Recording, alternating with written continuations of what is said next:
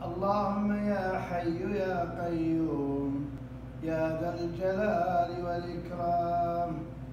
اللهم إنا نسألك العفو والعافية في الدنيا والآخرة. اللهم إنا نسألك العفو والعافية في ديننا ودنيانا وأهلنا ومالنا.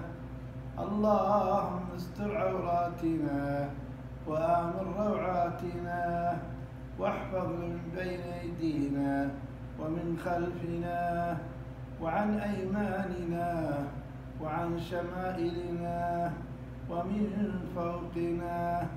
ونعوذ بعظمتك أن نغتال من تحتنا.